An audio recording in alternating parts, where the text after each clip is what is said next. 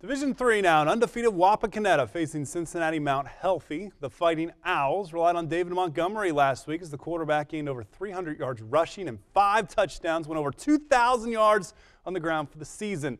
Should be a good test for Wapak's stern defense for Coach Vall on that defensive side of the ball. The senior captains taking the field. Wapak gets it first. Cameron Locke picks up a first down on a historic night for the senior. Then they hand it off, finally tackled. Takes a lot of owls to bring down Locke. Then they hand a Court Miracle, picks up another first down, trying to pick up yardage and eat up some clock. Third and six now for the Redskins. And they will go lock, stock, and barrel, but he's dropped in the backfield. Fourth down coming up. So Wapak's Tristan Meyer comes out, hits a 41-yard field goal. That could be on Austin Scott.